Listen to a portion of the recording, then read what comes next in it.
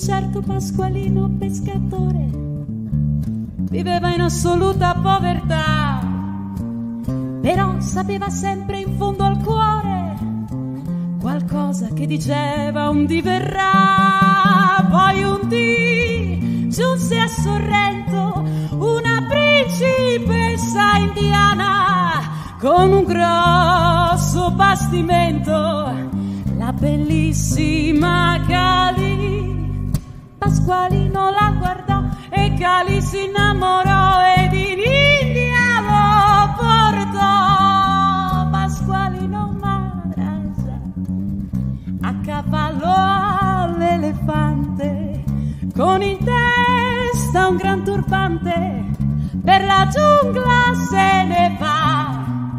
Pasqualino Maraja non lavora, non fa niente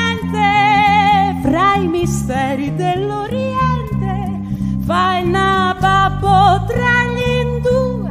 Du du du du du du du du du du du Cento casse di diamanti grossi e grossi, mentre principi e potenti gli si inchinano davanti, lui si fuma il narghile